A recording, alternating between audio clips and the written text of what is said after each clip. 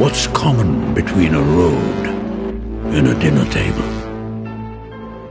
Well, the seat of authority is always reserved for Daddy.